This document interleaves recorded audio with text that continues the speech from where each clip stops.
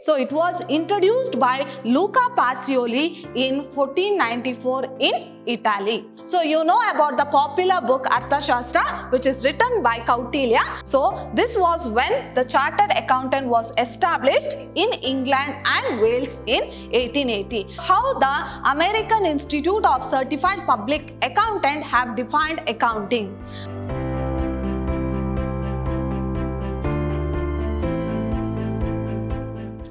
Hello everyone, welcome you all to Vidhyaashram. I am Harshitha, lecturer, Department of Commerce, Vidhyaashram PU College, the Temple of Excellence, Mysore. My dear students, just now you have completed your 10th standard and now into your PUC, that is first PUC and you have opted the Commerce branch. Now I am going to introduce one of the important subject under the Commerce branch that is accountancy. Let us see what is this accountancy is all about, what you are going to learn in this subject. So we shall have a brief introduction about this subject and make sure that this is one of the important as well as easy subject in the commerce branch. Now, if you see the origin of accounting, so let us see what is the origin of accounting. So, if you see the picture here, so it is what? It is the clay objects.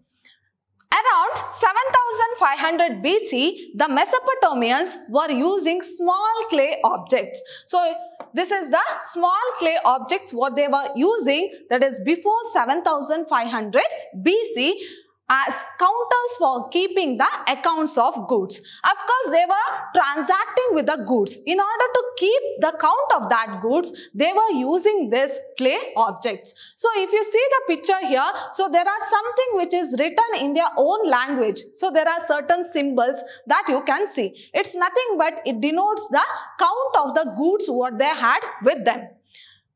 Each object, that is each clay object represented particular quantities of different types of commodities such as food, clothing and even labor. So each and every symbol which represents this picture has its own meaning. So they were using this clay objects in order to keep the count of this food, clothing and even the labor also. So this was the initial origin of accounting which was happened in Mesopotamia. Clear? Now moving on to the double entry bookkeeping. So my dear students, whatever the accounting concepts what we are using today, so that is relating to the double entry system of bookkeeping. Now, you may wonder that in that earlier day itself, this double entry bookkeeping was there. So now what we are using like journals, ledgers. So you are going to learn about these terms later. But what the system what we are using today, so it was there in the earlier days itself. So let us see the double entry bookkeeping system we are familiar with today. So whatever the system what we are using today like journal, ledger, debit, credit. So this was there in 1494 itself. So it was there in 1494 itself. So the double entry bookkeeping system we are familiar with today was first popularly described by Luca Pacioli. Now you have to remember this name. So being a common student, you have to remember this name. So what is the name is Luca Pacioli, a monk of Venice that is Italy in 1494. So whatever the system of accounting we are following today, so it was introduced by Luca Pacioli in 1494 in Italy. He wrote a book on mathematics named Summa. So, what was the book name is called as? So, he wrote a mathematic book named Summa where he wrote about bookkeeping. So, he had written about bookkeeping in 1494 itself. He is referred as the father of bookkeeping and accounting. Now, who is the father of bookkeeping and accounting? That is Luca Pacioli of Italy. So, in 1494 itself, whatever the systems we are using today, so it was introduced there itself. So, he has written everything about these concepts what we are using today in 1494 in his book named Summa. He defined much modern day thinking about debits, credits, journal as well as ledger. So these are the important concepts what you are going to learn in accountancy. So those concepts was earlier prescribed by this person that is Luca Pacioli. So he is popularly known as father of accounting or father of bookkeeping. Now let us see when this accounting was introduced in India. So if you see about India, of course it has long or long much history in India, right? So let us see how this accounting was introduced in India. So in India, accounting was practiced in the ancient period itself. So they were practicing this accounting in the ancient period itself by the ex-rulers Kautilya. So, who was practicing this accounting? That is the ex-ruler Kautilya. The minister of Chandragupta Maurya mentioned accounting and auditing system in his book Arthashastra. So, you know about the popular book Arthashastra which is written by Kautilya. So, in that book, he has mentioned about accounting as well as auditing in the 4th century BC. So, in the 4th century BC itself, he has written about accounting and auditing in his book Artha Shastra. So this was the introduction of accounting in India. Next, we shall see about the modern accounting system. So as and when the industrialization uh, took place at the same time as and when the modernization took place, this accounting system has become or it also undertaken the modernization. So here there was an improvement in the accounting system as the industrialization took place in India. With industrialization came a need for more advanced accounting system. So, due to industrialization, they had to follow modern advanced accounting system and accounting methods also. The concept of the chartered accountant so you are familiar about this word that is chartered accountant. So we call it as CA. So the concept of chartered accountant came about in mid 19th century Scotland after a group of accountants petitioned Queen Victoria for the royal charter.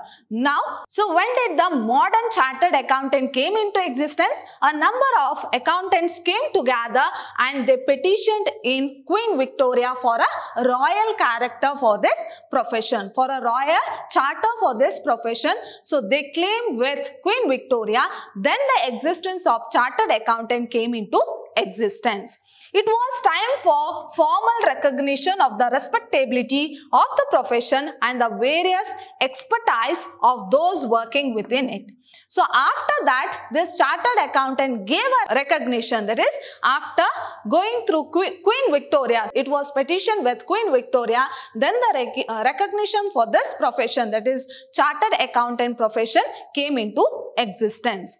The Institute of Chartered Accountant was established in England and Wales in 1880 so this was when the chartered accountant was established in England and Wales in 1880. Later it got a popular recognition. Now chartered accountant is one of the most popular profession where they are going to verify the books of accounts. Not only verification of books of account, there are number of activities which is being conducted by the chartered accountant relating to the books of account. So that is after the petition with Queen Victoria, this profession came in into or this profession was recognized as one of the important profession. Now let us see which is the largest body of this accounting. So we know about American Institute of Certified Public Accountant. So this is the picture of American Institute of Certified Public Accountant. So today it is one of the largest body of the accountant in the United States. So if you see the maximum number of chartered accountants are from United States. Okay. So, this AICMA that is American Institute of Certified Public Accountant is the largest body of accountants in the United States is the AICMA which represents the CPA profession that is certified public accountant profession. So here there are number of professionals who come under from this certified accountant that is American Institute of Certified Public Accountant where number of professionals come out of it. So nationally in 1887. So the CPA professional nationally in or it represents the CPA profession nationally in 1887. So this American Institute of Certified Public Accountant is the largest body of accountant in the United States. Next, we shall see about bookkeeping. So, as I have already told you, this Luca Pacioli have written or the recent development in accounting that is it may be ledger or a journal, debit, credit. So, what we are using today, so it was earlier itself developed by Luca Pacioli in his book Summa.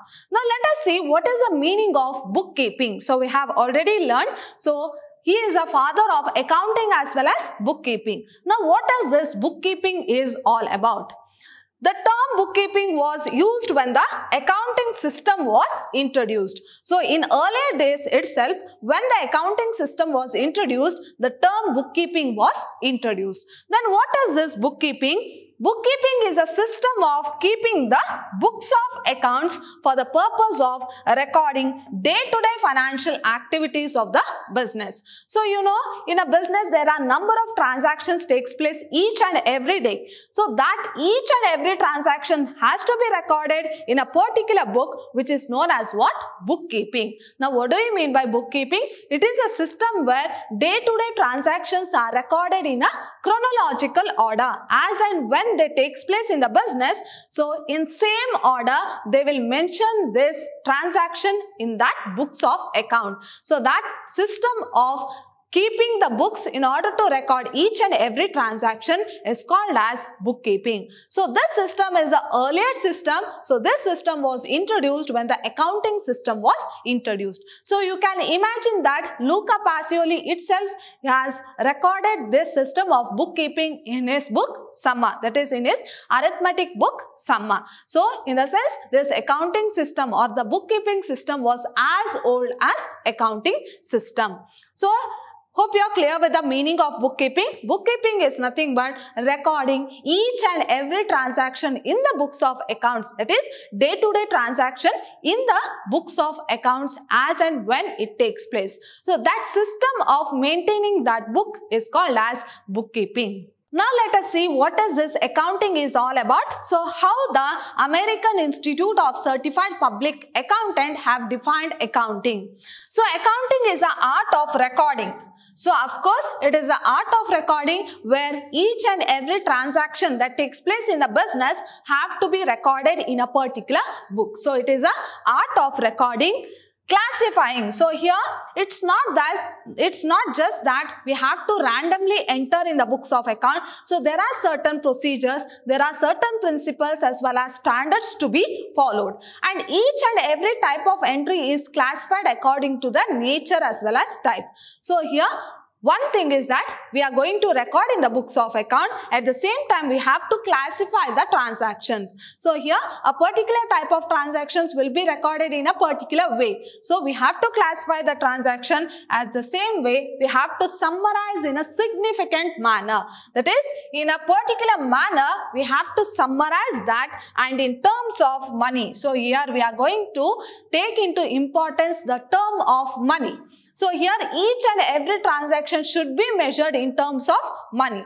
So non-cash transactions are not recorded in the books of account. So here each and tra every transaction has to be measured in terms of money, transactions and events which are in part at least of a financial character and each and every transaction should be of a financial character and interpreting the results thereof. So this is one of the important definition which is given by American Institute of Certified Public Accountant. In bookkeeping, it is just keeping a books of account in order to record the entries. Whereas accounting is different. It includes recording, classifying and summarizing each and every transaction and make sure that, that each and every transaction should be measured in terms of money. That is, it should be in monetary terms. So, this is all about accounting.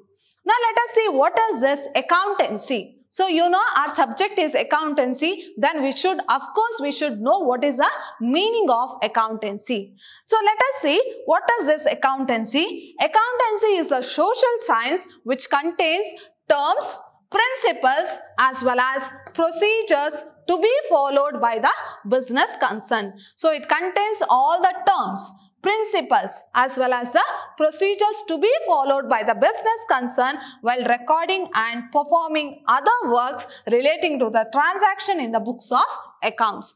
That is, in the books of account, we will record each and every transaction. So while recording the transaction, this accountancy tells us that, so what are the terms to be included, what are the principles to be followed, what are the procedures to be followed. So that will be mentioned in this whole subject. So how the transactions has to be recorded. So I have already told you, it's not just that we are going to record the transaction as per our wish. So there are certain procedures, there are certain standards, there are certain principles to be followed while recording each and every entry. So that will be taught by whom? By the accountancy. So accountancy will teach us what type of transactions to be recorded, what are the terms to be followed, what are the principles and procedures to be followed. So here accountancy contains all that terms, principles and procedures to be followed while recording in the books of accounts. So this is about